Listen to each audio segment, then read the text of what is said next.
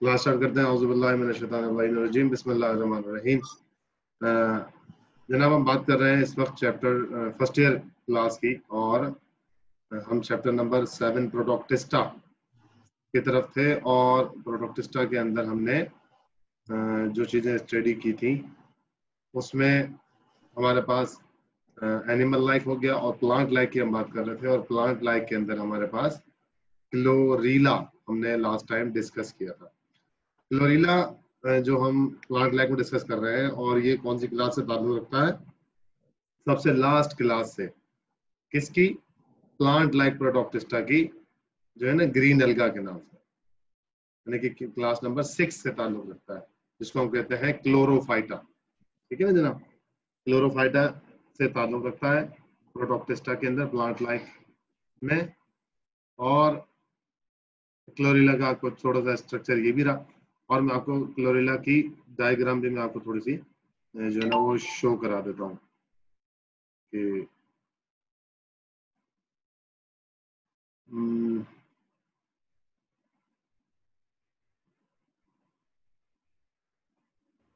Sir आपने कहा था आपका ऑफ़ क्लोरेला और लाइफ साइकिल ऑफ़ अल्वा पढ़ाएँगे। हाँ क्लोरिला मैं आपको इम्पोर्टेंस ऑफ़ क्लोरिला ना? तो मैं आपको क्लोरिला दिखाता भी हूँ और क्लोरिला के अंदर जो इम्पोर्टेंट है, जिसकी जहाँ मेडिसिन में इस्तेमाल होता है तो मैं आपको वो भी डायग्राम के ज़रिए से ये सारी चीज़ें अंडरस्टैंड करवा रहा हूँ आपको खुद अंदाज़ा हो जाए कि ये बाहिर तो यूनिसेलुलर एक क्लोरिला है और सिंपल सा ऑर्गेनिज्म है।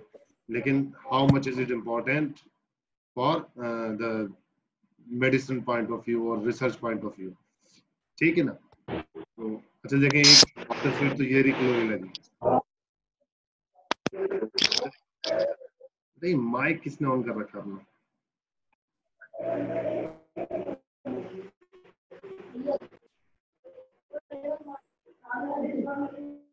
नहीं यासिर अपना कैम स्टॉप रखा कर।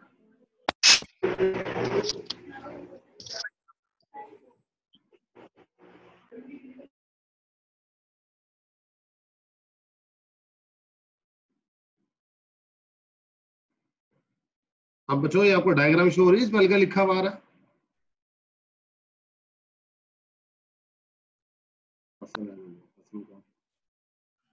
मैं आपको नो सर।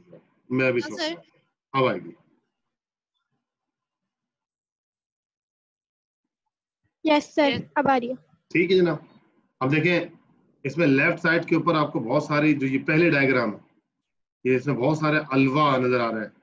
देखे ना, बहुत लंबे लंबे से पत्ते पत्ते पत्ते से नज़र आ रहा है। जिसको हम सी वीड्स कहते हैं।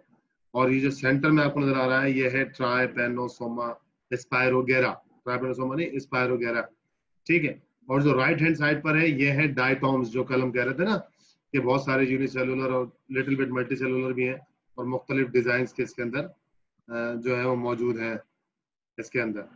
ठीक है? ये सारी हम आपको जो कल दिखा रहे थे। इसके अंदर और भी मैं आपको डायग्राम शो कराता हूँ। देखें ये बेसिकली एक अलवा की तस्वीर है।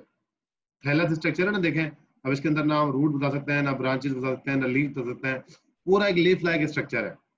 ठीक है बेटा नज़र आ रहा है? रिस्पॉन्स करें इस चीज़ को। यस सर यस सर अब इस चीज़ के अंदर वी कान डिफरेंशिएट के रूट का है स्टेम का है। This structure is known as the thallophyta या थैलस स्ट्रक्चर और इसमें ऑफ़ कोर्स जाइलम और फ़िल्म भी मौजूद नहीं है। क्योंकि that is a very lower category of the plant like structure तो उसमें जाइलम मौजूद भी नहीं अब देखिए, ये लिखा हुआ क्लोरीला स्पायरूलिनिया क्लोरीला स्पायरूलिनिया दो अलग अलग स्पीशीज है, लेकिन दोनों की दोनों जो है प्लांट लाइक प्रोडोक्टिस्टा के किससे ताल्लुक रखती हैं?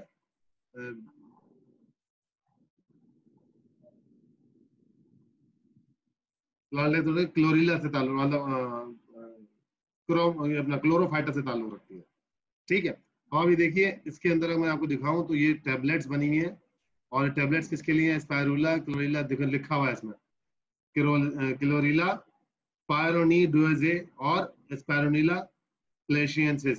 two super food in one tablet food यानी कि एज ए फ़ूड इस्तेमाल हो रहा है। उसमें लिखा हुआ है जनाब 250 मिलीग्राम टेबलेट्स और ये सारी चीज़ें। कि अगर आप उसकी डिटेल पढ़ें तो आपको ये पता लग जाएगा कि किस मेडिसिन के लिए क्लोरेलिन और अलगा और न्यूट्रिशन के लिए और चिकन फीड्स के लिए और डिफरेंट चीज़ों के लिए ये इस्तेमाल होती है। खतीजा बेटा माइक खोलना क्या बात करनी है कुछ?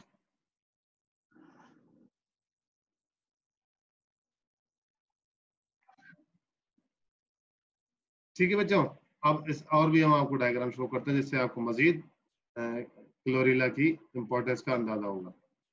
और इस तरफ़ एक तो ये हो गया, ये अलवा हमने देख लिया, ये अलगा की एक और तस्वीर देख ली। अब देखें, ये वेरिएशन इन किसके अंदर? प्रोटॉक्टिस्टा के अंदर प्लांट लाइक देखें ना डिप्लोमोनाट्स डायनोफ्लेजिलेट्स यानी कि एक एक फ्लेजिला वाले डिप्लोमोनाट्स हर डिप्लोमोनाट्स क्यों? क्योंकि हर फ्लेजिला डबल डबल डबल निकल रहा है इसमें से। अच्छा एपिकॉम्प्लेक्शंस ये रहा जिसके अंदर हमने प्लाज्मोडियम पढ़ा एनिमल लाइक यानी पूरी डाइवर्सिटी किसकी दिखा रहा है ये? प्रोटोक्टिस्टा की, पूरे किंगडम की। सीलिएट्स ये एनिमल में हो गया। डाइटॉम्स ये आपके पास प्लांट लाइक स्ट्रक्चर में से हो गया। वाटर मोल्ड ये आपके पास फंजाई में से हो गया। ग्रीन एल्गा में से क्या आ गया? आपके पास अल्वा जिसका ये आपके पास एक डायग्रामेटिक थैलस है, जो मैंने आपको पिछले डायग्राम दिखाई, वो समंदर के अंदर ओरिजिनल अलवा किस तरह पड़ी होती है, वो भी दिखाई आपको। देखें जनाब, ये आ गया अलवा क्लोरेला भी साथ चला देंगे जो आता रहेगा अलवा भी साथ साथ पढ़ते रहता है। अलवा जो है देखें ये बिल्कुल स्ट्रक्चर आपको अलवा का नज़र आ रहा है। ठीक है? इसमें आप देखिए ज़मीन के अंदर जो उसकी रूट लाइक स्ट्रक्चर है वो क्या कहलाते हैं? कौन बताएगा जल्दी से? अलवा के ज़मीन के अंदर जो क्या कहलाते हैं? नहीं और कोई बताए? कल पढ़ा हमने कल। ज़मीन के अंदर जिससे ये पकड़े हुए होते हैं ज़मीन को। रॉयस वाइट तो फिर भी एक इम्प्रूव्ड स्ट्रक्चर है। फिलामेंट नहीं फिलामेंट तो बाहर होते हैं ना जिससे इसने ज़मीन के अंदर से अपने आप को पकड़ा हुआ। कल पढ़ा था हमने जब इसकी हम कैटेगरी भी पढ़ रहे थे ना। और एक लीफ लाइक स्ट्रक्चर टाइम हमारे पास आया था जिसमें आपने कहा था सर देखें थोड़ी सी डिफ्रेंशिएट हो रही है इसमें। इसको हम कहते हैं होल्ड फास्ट क्या कहते हैं? अब तो रिपीट कर दें कम से कम। Hold fast hold hold fast hold fast जिसको ये होल्ड करके रखता है ज़मीन के अंदर से। ठीक हो की बात? अच्छा अब ये जो होल्ड फास्ट है फिर इस, जी जी। होल्ड फास्ट तो पकड़ने को कहेंगे ना तो कोई नाम तो होगा ना इसका हाँ, मतलब ज़मीन hold... को ज़मीन को पकड़ा हुआ है ना। सेसाइल जब तो हुआ ये कि उसने ज़मीन को एक जगह से होल्ड कर रखा।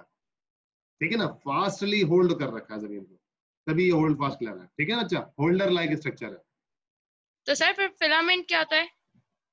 फिलामेंट्स तो हम नॉस्टॉक के स्ट्रक्चर को कहेंगे जो यूनिसेलुलर नॉस्टॉक बहुत सारे मिल जाते हैं। अच्छा। ठीक है ना? जो यूनिसेलुलर स्ट्रक्चर बहुत सारे मिल जाते हैं ना उसको कहते हैं। ठीक है? यूनिसेलुलर जब जैसे हमारे पास नॉस्टॉक का पूरा फिलामेंट बन जाता है वो उसका ज़मीन के अंदर से पकड़ने का ताल्लुक नहीं होता वो पानी के अंदर ऊपर सामने रह रहा होता है। इसका क्या ताल्लुक है? इसने एक थोड़ा सा प्लांट लाइक स्ट्रक्चर बनाना शुरू किया होल्ड फास्ट यानी कि जो इनिशियली रूट का स्ट्रक्चर बनना शुरू हुआ, उसे हम होल्ड फास्ट कहते हैं। ठीक है, फिर थैलस बनना शुरू हुआ थैलस स्ट्रक्चर ये ऊपर वाला लीफ लाइक स्ट्रक्चर जो है पूरा। ठीक है, अभी पूरा अलवा का स्ट्रक्चर है। अब, क्या कह रहा है? Two distinct multicellular phases reproduction की बात कर रहे हैं। Ulva reproduce by the alternation of generation alternation of generation हम पहले भी दफ़ा पढ़ चुके हैं। दोबारा मैं आपको डेफिनेशन दोहरा दूँ। अल्टर कहते हैं तब्दील होने को। वन बाय वन अपनी बारी, अपना रोल प्ले कर रहे हो कहते हैं अल्टरनेट उसका दूसरा फॉर्म अब कह रहा है कि दो जनरेशन हैं जो एक दूसरे को अल्टर करती हैं। बहुत गौर से सुननी है बात को ताकि आपको बात समझ में आ जाए। दो अल्टरेशन करती है। एक जनरेशन होती है स्पोरोफाइट दूसरी होती है गैमेटोफाइट ठीक है ना? ये लिखा हुआ। Two distinct multicellular phases one is the जो कि हमेशा गैमेटोफाइट होगी and other is the diploid is haploid and sporophyte is diploid gametophyte P H Y T E phyte मतलब प्लांट पौधा। ऐसा पौधा जो गैमेट्स बनाए उसे कहते हैं गैमेटोफाइट नीचे आ जाइए, लिखा है स्पोरोफाइट ऐसा पौधा जो स्पोर्स बनाए that is not as sporophyte okay तो दो जनरेशन हो गई। गैमेटोफाइट एंड स्पोरोफाइट शक्ल देखने में कोई फ़र्क नहीं होता। You can't identified which is the sporophyte generation which is the gametophyte generation क्योंकि ये दोनों जनरेशन बिल्कुल एक जैसी होती है that's why that is known as that's why that is known as the gametophyte generation बेटा, कुछ नए लोग ज्वाइन कर रहे हैं, हमको जरा मैं इनसे बात कर लूँ जरा, ठीक है? चले बेटा, अब हम क्या पढ़ रहे हैं? अल्वा की हमने स्ट्रक्चर देख लिया, और हमने ये देख लिया कि जनाब दो किस्म की जनरेशन होती है स्पोरोफाइट स्ट्रक्चर दोनों का सेम है जो आपके सामने नज़र आ रहा है। सी वीड्स है, समुद्री झाड़ी कहलाती है फ्रेश वाटर के अंदर मिलती है झील के किनारे लेक्स के किनारे, समंदर के अंदर भी बहुत ज़्यादा क्वांटिटी में मिलती है। ठीक है जनाब, आगे हमारे पास, ये आपके पास जो है वो क्लोरीला का एक स्ट्रक्चर आ गया। ठीक है, जो हम पिछले स्टडी करके आ चुके हैं अपने नोट्स के अंदर। ठीक, और ये डायग्राम मैं आपको व्हाट्सएप पर भी शेयर ये क्लोरीला आप देखिए, ये बिल्कुल ऐसा नज़र आता है, अगर आप माइक्रोस्कोप में फाइंड आउट कर सकें तो। हमें क्लोरीला मोस्टली कहाँ मिलता है? जहाँ से हम काई उठाते हैं ना, जहाँ से हमें नॉन स्टॉप का फिलामेंट मिलता है ब्लू ग्रीन अलगा का। उन्हीं में कहीं ना कहीं हमको क्लोरिला भी इस तरह बिल्कुल नज़र आ जाता है। ये जो एक एक सर्किल है that is a complete chlorella और यूनिसेलुलर स्ट्रक्चर है। देखिए कितना वाजे और बड़ा सेल है। इसलिए इसको रिसर्च में इस्तेमाल किया जाता है कि भाई प्लांट सेल किस तरीके से काम करता है। प्रोमिनेंट सेल है बड़ा, इसलिए ज़्यादातर इसकी जो इंपॉर्टेंस है वो क्या है? Research base. ये इसकी ओरिजिनल तस्वीर है, ये हैंडमेड नहीं है। यानी माइक्रोस्कोप से टेकन पिक्चर है ये क्लोरीला की। जिसे आप खुद माइक्रोस्कोप में देख रहे हो, अगर वाजे तौर पर नज़र आ जाए तो। ठीक है जनाब?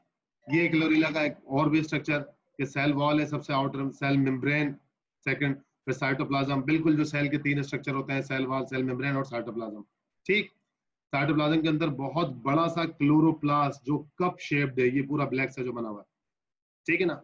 कप शेप्ड क्लोरोप्लास्ट है और इतना बड़ा क्लोरोप्लास्ट रखने के साथ that's why it is a highly photosynthetic there is a question in your 5 years paper why the chlorella is the highly photosynthetic because इसका आंसर क्या है? Chlorella have the very large chloroplast cup shape uh, which is the highly photosynthetic जो ज़्यादा ज़्यादा sunlight को capture करता है और मैक्सिमम फोटोसिंथेसिस करता है। पायरिनोइड क्या है जनाब? फ़ूड स्टोरिंग जहाँ पर ये फ़ूड स्टोर करता है। और फ़ूड किस फॉर्म में स्टोर करता है? लिखा हुआ स्टार्च ग्रेन यानी कि स्टार्च के फॉर्म में फ़ूड स्टोर करता है क्लोरेला ये इसका एग्जैक्टली न्यूक्लियस है और न्यूक्लियस में न्यूक्लियोलस जहाँ इसका डीएनए और जेनेटिक मटेरियल है। बहुत वाजे तौर पे बहुत वाजे स्ट्रक्चर और सादा स्ट्रक्चर बनाया है। ठीक है ना? इस स्ट्रक्चर को आप लोग भी ड्रा करके अपने पास बना लीजिएगा ताकि आपको भी क्लोरीला का स्ट्रक्चर वाजे तौर पर पता लग जाए। दैट इज़ यूनिसेलुलर ठीक है जनाब? देखिए क्लोरीला की एक और मेडिसिन आपके सामने है। ठीक है ना? ये देखिए, वो नाम ही क्लोरीला है इस मेडिसिन का। देखिए लिखा हुआ क्लोरीला पायरेनोइडोसा ये पूरा नाम है क्लोरीला का। हम कहते हैं ना, बायनोमियल नॉर्मल क्लेचर। तो हर एक ऑर्गेनिज्म का दो पार्ट्स पे नाम होता है। तो उसका पूरा नाम क्या है? क्लोरीला पायरीनोइडियसे और 90 टेबलेट्स और ये पूरा देखिए इसमें देखते हैं हम। Tested ingredients, top quality. क्या क्या कितना है जनाब ये? टेक्नोलॉजीज़, प्रीमियम 1500 डेली सर्विंग यानी ये भी किसी न्यूट्रिशनल पाउडर है न्यूट्रिशन प्रोवाइड करता है। अब इंसानों के लिए भी करता होगा टैबलेट्स है इसके अंदर। ठीक है ना? क्लोरीला का ये आपके पास कलरफुल स्ट्रक्चर आ गया क्लोरोप्लास्ट पायरोन वो ये स्ट्रक्चर है बिल्कुल। ठीक है? सेम इसमें कोई डिफ्रेंसिएशन नहीं। ये सारे डायग्राम मैं आपको शेयर भी कर दूँगा। ये वो टैबलेट्स का अंदर वाला पोर्शन जो क्लोरीला की टैबलेट्स बनती हैं। देखिए वाजे तौर पर टैबलेट्स आपको नज़र आ रही है। ये देखिए, ये एक और क्लोरीला का, नई मेडिसिन एक और मेडिसिन देखिए क्या लिखा हुआ है? इम्यूनाइट ईटी डिफेंस न्यूट्रल यानी कि इम्यून सिस्टम को स्ट्रॉन्ग करने वाली टैबलेट है। क्लोरीला बिल्कुल उसी से बनी हुई और देखें, ये राइट हैंड पे क्लोरीला बने हुए भी हैं। अगर कोई शख्स आम आदमी, जो बायोलॉजी ना पढ़ता हो बॉटनी ना पढ़ता हो, उसके नज़र के अंदर ये एक सिंपल टेबलेट है और ये सर्किल सर्किल को इसके लिए मायने नहीं रखते। लेकिन अगर आप देखेंगे इस टेबलेट को, इस डब्बे को तो आपके लिए ये क्लोरीला मायने रखता है कि आपको पता है कि ये क्लोरीला का स्ट्रक्चर बना हुआ है यूनिसेलुलर ठीक है ना? आप क्या लिखा source of the nutrient D five vitamin भी हैं इसमें, और बी नाइन यानी विटामिन बी कम्प्लेक्स भी है विटामिन डी भी है के भी है विटामिन बी कम्प्लेक्स ट्वेल्व यानी कि बालों के लिए भी बड़ा अच्छा होगा इसका मतलब ये। क्लोरोफाइल ये भी इसके अंदर मौजूद है। 120 टैबलेट है और हज़ार ग्राम। देखिए कितनी इंटरनेशनल तौर पर ये मेडिसिन बनी हुई है। ठीक है न्यूट्रोफाइस देखिए लिखा हुआ है। यानी कि न्यूट्रिशन कितनी ज़बरदस्त बेस के ऊपर ये क्लोरीला इस्तेमाल होता है। इसलिए देखिए, जो मेडिसिन मेडिकल के स्टूडेंट होते हैं, उनका मेडिसिन का पढ़ना कुछ और होता है। और एक आम आदमी जो मेडिसिन लेके जा रहा है, उनका तो आप अपने हर लम्हे पे मेडिसिन को स्टडी करें, उनका नाम स्टडी करें, उनके नीचे उसका लिखा हुआ जो केमिकल नेम है, जैसे पेनाडोल तो लिखा हुआ था, लेकिन उसके अंदर एस्पिरिन शामिल होती है, नीचे लिखा हुआ होता है। तो आप लोगों का तरीकाकार थोड़ा चेंज होना चाहिए मेडिसिन को पढ़ने समझने में। यूगलीना ये हमारा पुराना दोस्त है, इसको हम काफ़ी ज़्यादा पढ़ चुके हैं। ये कौन सा स्ट्रक्चर है? कौन बताएगा? जल्दी बताए। अलवा सर अलवा हलवा है कैसे हलवा है? Sir. How you know that that is halwa? Sir ये स्ट्रक्चर सर इसका थैला स्ट्रक्चर है रूट स्टेम में डिफरेंशिएट नहीं कर सकते। और वाटर में रोग कैसे आता है? दैट इज़ द पॉइंट यानी कि ये भी बहुत स्ट्रॉन्ग पॉइंट है कि वाटर के आसपास है। एक और बड़ा स्ट्रॉन्ग पॉइंट है इसके अंदर। एक तो थैलस स्ट्रक्चर है दूसरा जो है वाटर के पास ये ग्रो कर रहा है। एक और बड़ा इंपॉर्टेंट पॉइंट है कि ये green leaf leaf like structure green colour में है। यानी कि क्लोरोफिलस है फोटोसिंथेटिक है इसका मतलब है। ओके यानी अपनी फ़ूड खुद बनाता है। ठीक हलवा भी बहुत सारी जगहों पे चिकन फीड्स में और न्यूट्रिशन के न्यूट्रिशनल फीड्स के अंदर शामिल होता है। किंगडम प्रोटोक्टिस्टा के आपके डिफरेंट ऑर्गेनिज्म ये सारे डायग्राम मैं आपको शेयर कर रहा हूँ। जनाब आगे हमारी आज का सबसे बड़ा टॉपिक मेन टॉपिक क्या टॉपिक है जरा कोई बताएगा क्या नज़र आ रहा है आपको? Life cycle of life cycle very good Abdul Ghani साहब बात alternation of generation Abdul Ghani बात समझ में आ रही बेटा? यस सर यस सर बिल्कुल. आप बाकी स्टूडेंट को क्यों नहीं कह रहे हैं? कि जनाब क्लास लें। सर हुजैफा को बोला था वो बोल रहा है कि वॉइस का मसला हो रहा है. वॉइस का मसला हो रहा है तो नेट स्पीड अच्छी करे। आपके पास हो रहा है क्या? नो सर तो फिर? समझाएँ उसको? बाकी दूसरों को सबको समझाएँ इतने सारे दोस्त हैं माशाल्लाह आपके। पढ़ने वाले भी हैं यस सर बोल दें सर बोल दूँगा सर। शाबाश शाबाश। और आप भी बच्चों सब जो जो आपके दोस्त हो सबको शेयर करवाएँ। अच्छा जनाब हम पढ़ रहे हैं जनाब लाइफ साइकिल ऑफ़ अलवा अब ये अलवा के थैलस आपको नज़र आ रहा है। यहीं से शुरू करते हैं हम। मैच्योर स्पोरोफाइट बहुत आसान सा लाइफ साइकिल है। टेंशन लेने की बिल्कुल बात नहीं है। पहले से एक्सटेंसिव लाइफ साइकिल पढ़ चुके हैं।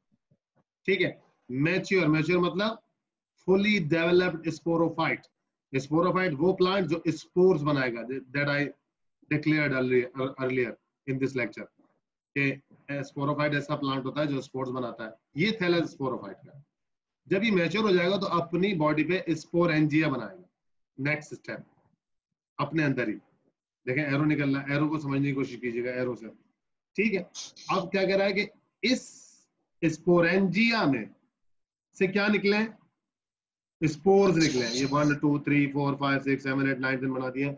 बहुत सारे स्पोर्स निकलते हैं, बहुत सारे। सैकड़ों, हज़ारों की तादाद में स्पोर्स निकलते हैं। और अभी तो इसने सिर्फ़ एक स्पोरेंजिया दिखाया है। Several sporangia are produced on the single sporophyte plant, thallus, single thallus लेकिन इस स्पोरेंजिया में जो ये जू स्पोर्स बनेंगे, जो आगे जाके दो उन्होंने बड़े बड़े करके दिखा दिए, ये देखिए, ये किस सेल डिवीज़न से बने? मियोसिस मियोसिस से। क्यों भाई? मियोसिस से क्यों बने? कौन बताएगा? सर क्योंकि इनके ना वो क्रोमोसोम्स नंबर हाफ़ करने थे इस वजह से इस बात को जरा थोड़ा डिटेल बताएँ शाबाश।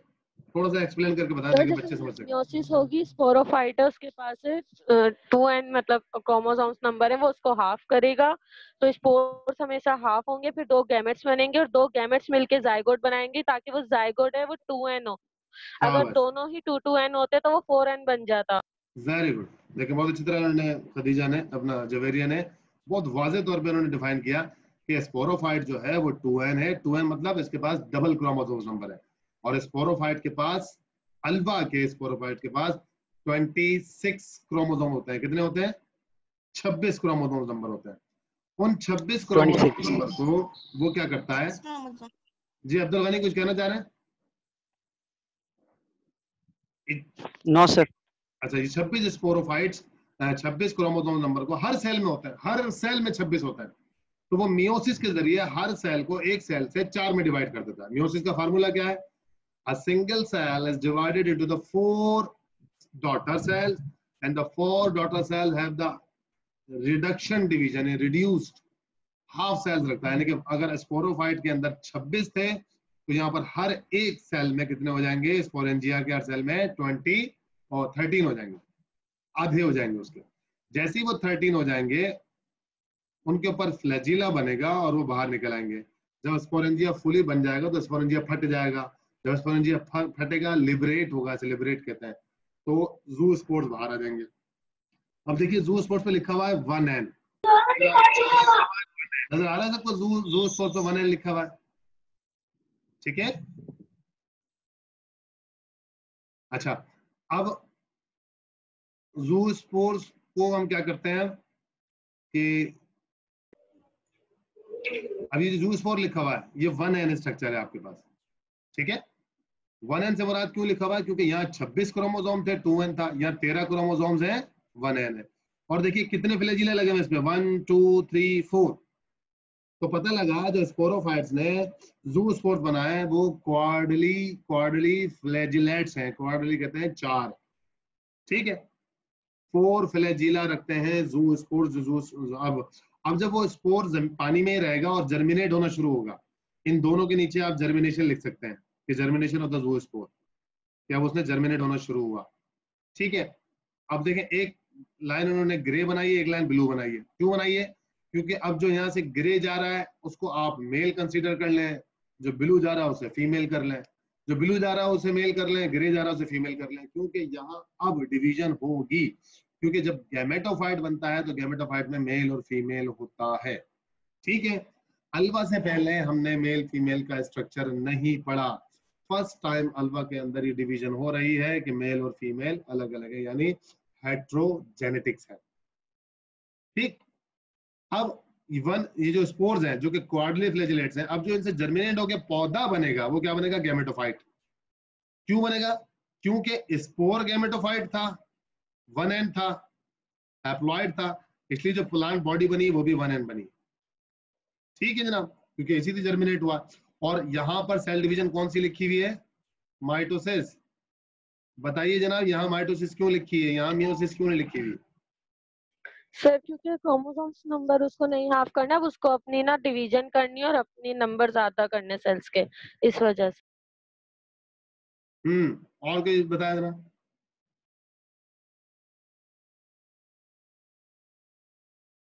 शाबाश शाबाश यहाँ माइटोसिस का लिखा है। जल्दी बताए ना कोई और।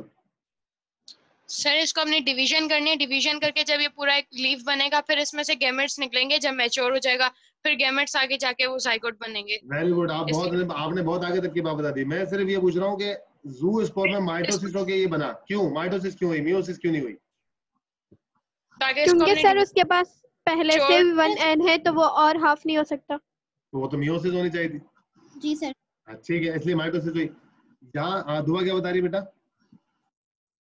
सर इसे अपनी सेल डिवीज़न करनी थी और फिर ताकि इसको एक लीफ बनना था मैच्योर ताकि गैमेट्स प्रोड्यूस करे दोबारा शायद ठीक है that is that is much better answer ठीक है इसमें अभी क्या बात है कि अब क्योंकि इसके अंदर क्या होनी है? डेवलपमेंट ग्रोथ होनी है। ग्रोथ मतलब जू स्पोर ने गैमेटोफाइट में जाना है। तो अपने आप को बड़ा करना है ग्रोथ करनी है। तो जब ग्रोथ करनी है तो ग्रोथ के लिए ऑलवेज बी द माइटोसिस याद रखें। वेन एवर द ग्रोथ और द डेवलपमेंट दोनों के लिए माइटोसिस है। याद रखिए। सिर्फ़ जायगोट बनाने से पहले मियोसिस होती है, जो जो हो गई, जो यहाँ कर ली इसने। ठीक है? अब ये स्पोर अपने आप को बड़ा करेगा और उसने गैमेटोफाइट बना दिया अब इसमें से you can consider left side is the male right side is the female right side is the male left side is the female क्योंकि दोनों का स्ट्रक्चर गैमेटोफाइट के अंदर एक जैसा है और स्पोरोफाइट का भी एक जैसा है। जब स्पोरोफाइट और गैमेटोफाइट और गैमेटोफाइट मेल फीमेल स्ट्रक्चर्स बिल्कुल एक जैसे होते हैं थैलस के तो this condition is known as कौन बताएगा? जब स्पोरोफाइट और गैमेटोफाइट के अंदर आप थैलस में स्ट्रक्चर में डिफरेंस नहीं बता सकते इसे क्या कहते हैं? कौन सी अल्टरनेशन ऑफ़ जनरेशन कहलाती है? कि जब दोनों कंडीशन एक जैसी हो। ओगेमी ना। गैमी तो गैमेट्स में आ जाएगा। जब दोनों जनरेशन एक जैसी होती है, इसे कहते हैं isomorphic alternation of generation iso मतलब सेम मॉर्फ मतलब स्ट्रक्चर यानी कि दोनों स्ट्रक्चर बिल्कुल सेम है। ठीक हो गई बात? अब जब गैमेटोफाइट मैच्योर हो जाएगा द गैमेटोफाइट इज़ मैच्योर्ड अब ये मैच्योर गैमेटोफाइट है।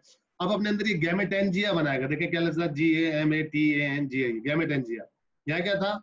स्पोरेंजिया क्योंकि बना किसमें था स्पोरोफाइट में। यहाँ क्या है? गैमेटेंजिया बना किसमें है?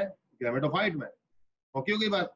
अब इसने अपने अंदर गैमेट्स बनाए और गैमेट्स भी सिंपल माइटोसिस से बनाएगा मियोसिस से नहीं बनाएगा।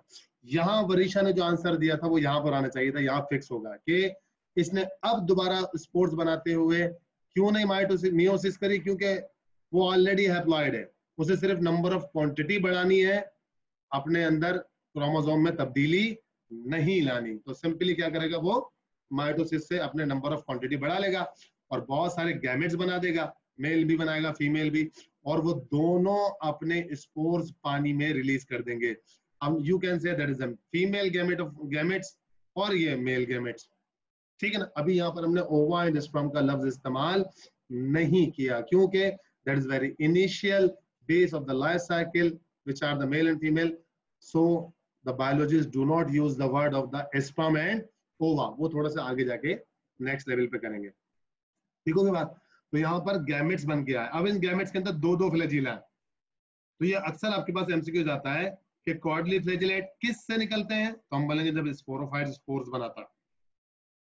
बायोफ्लैजिलेट कब निकलते हैं? जब गैमेटोफाइट्स गैमेट्स बनाता है। ठीक होगी बात?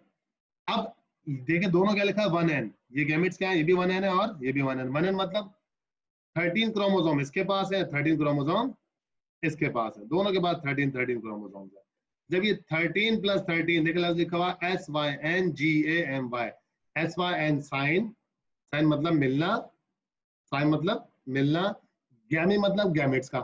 जब दोनों गैमेट्स आपस में मिलेंगे फ्यूज होंगे this process is known as the gamy लेकिन जब हम नेक्स्ट स्टेजेस पे जाएँगे, अगली हाई लाइफ साइकिल पे, तब इसको हम फर्टिलाइजेशन के नाम से याद करेंगे। किस नाम से? फर्टिलाइजेशन के। अभी हम सिर्फ़ सेंगेमी कह रहे हैं। यानी गैमेट्स का मिलना। जैसे ही मिले वन एन और one one N plus one N is equal to two N देखिए, अब अब टू एन प्लस के अंदर आपको कुछ स्ट्रक्चर नज़र आ रहा है। बल्कि यहाँ भी देखिए नज़र आ रहा था, ये अंदर अंदर स्ट्रक्चर बनाया हुआ ना छोटे छोटे से, ये, यही क्रोमोजोम है असल, जो अंदर मौजूद है। ठीक है, ये हम आपको जेनेटिक्स के चैप्टर पढ़ाना शुरू करेंगे ना, अभी अगली क्लास से इंटर में, जो भी क्लास लेंगे हम, उसके अंदर से आपको जेनेटिक्स भी बताना शुरू करेंगे। तो ये क्रोमोजोम अब देखिए, एक इसके पास से आया, एक इसके पास से आया, यानी थर्टीन इसके पास थे थर्टीन इसके पास थे। दोनों मिलकर थर्टीन ट्वेंटी सिक्स हो गए। यानी एक को आप थर्टीन कंसिडर कर लें, दूसरे को थर्टीन कंसिडर कर लें तो मिलकर ट्वेंटी सिक्स और पूरा क्या होगी टू एन अब जैसे ही टू एन बना शुक्रिया अभी जैसे ही टू एन बना, अब ये जर्मिनेशन होगी। जैसी जर्मिनेशन शुरू होगी, फिर माइटोसिस यानी कि meiosis only one time in the single life cycle single life cycle में सिर्फ़ मियोसिस जब होगी, जब डेप्लॉइड से हैप्लॉइड होना है, बस। उसके बाद ओवरऑल माइटोसिस है। चाहे आप जू स्पोर्ट्स ने गैमेट जू स्पोर्ट्स ने गैमेटोफाइट बनाना हो, या गैमेटोफाइट के गैमेट्स ने फर्टिलाइजेशन सेंगेमी करने के बाद स्पोरोफाइट बनाना हो तो अब यहाँ पर क्या होगी? Overall mitosis will be takes place here और से दोबारा जर्मिनेट होगा। अब जो नया पौधा बन रहा है दैट इज़ द गैमेटोफाइट और that is the sporophyte that is sporophyte अब क्योंकि पूरा बड़ा हो गया, इसलिए now that is not is the mature sporophyte mature sporophyte मतलब अब ये दोबारा से अपने अंदर स्पोरेंजिया बनाएगा जू स्पोर्स बनाएगा, फिर गैमेट फिर गैमेट एंजिया फिर गैमेट्स फिर साइंगेमी और फिर से इस तरीके से ये सारा काम होता चला जाएगा। ठीक है, अब आप देख लीजिए आप कोई कंडीशन मुझे सवाल करना है तो पूछ लीजिए इसके अंदर। जल्दी से समझ जो कंफ्यूजन हो।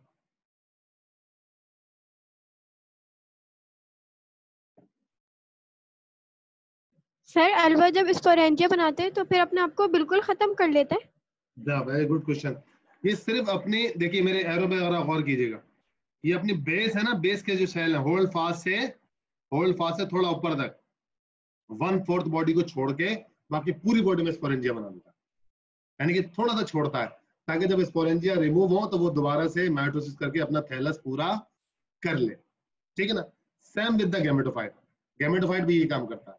कि अपनी आधी बॉडी में गैमेट्स बनाएगा उसके बाद बाकी में गैमेटोफाइट बना देगा ताकि अपनी लाइफ भी चलाता रहे और नई बेबीज भी बॉर्न करता रहे। वेरी गुड क्वेश्चन और कोई क्वेश्चन है तो जल्दी करें बेटा।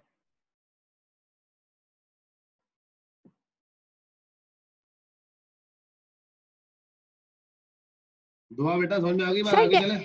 जी जी। सर गैमेटोफाइट और स्पोरोफाइट में सिर्फ़ क्रोमोसोम्स के नंबर का फ़र्क होता है या जैसे उनका फ़ंक्शन वगैरह भी अलग होता है?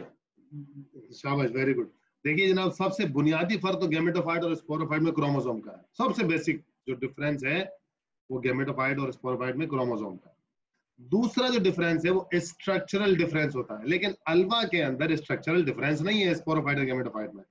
That's why that is known as the isomorphic alternation iso मतलब सेम मॉर्फ मतलब स्ट्रक्चर मॉर्फोलॉजी जिसे कहते हैं। तो स्ट्रक्चर में सेम है। लेकिन जैसे जैसे हम आगे चलते चले जाएँगे ब्रायोफाइट्स में आएँगे तो ब्रायोफाइट्स में जाके स्पोरोफाइट की शक्ल और गैमेटोफाइट की शक्ल एक दूसरे से क्वाइट डिफरेंट होगी।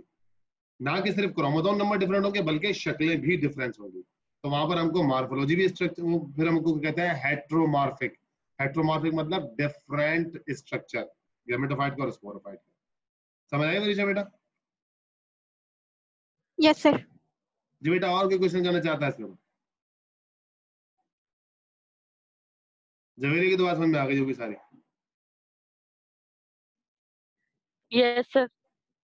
ठीक है अब देखिए ये आपके पास प्रोटॉक टेस्ट अब हमारा ये जो ना ये चैप्टर खत्म हो गया। ठीक है? किंगडम प्रोटोक नहीं खत्म नहीं फन, अ, इसमें फंजाई लाइक रहता है। वो हमारी नेक्स्ट क्लास में फंजाई लाइक भी हम खत्म कर देंगे। ठीक है अगली क्लास आखिरी होगी किंगडम प्रोटॉक टेस्ट अब देखिए ये जो आपको डायग्राम नज़र आ रही है पिक्चर इसके अंदर डिफरेंट आपको प्रोटॉक टेस्टा नज़र आ रहा है। देखिए ये आपको रोडोफाइट से नज़र आ रही है सबसे पहले। ठीक है ना? जिसको हम कहते हैं रेड अलगा ये आपको अलवा नज़र आ रहा है। सेकंड ये है हमारे पास अलवा सिंपली ठीक है? ये आपके पास डायटॉन्स नज़र आ रहे हैं नीचे। ठीक? और ये आपके पास क्लेमेडोमोनास ये दूसरी स्ट्रक्चर ये आपके पास एनिमल लाइक प्रोटोक्टिस्टा नज़र आ रहा है। ये कॉरल रीफ्स लाइक स्ट्रक्चर नज़र आ रहा है। ठीक है? तो आप डिफरेंट डायग्राम से डिफरेंट स्टडीज़ कर सकते हैं। ये भी प्रोटोक्टिस्टा की डायवर्सिटी की तस्वीर है किंगडम प्रोटोक्टिस्टा ठीक?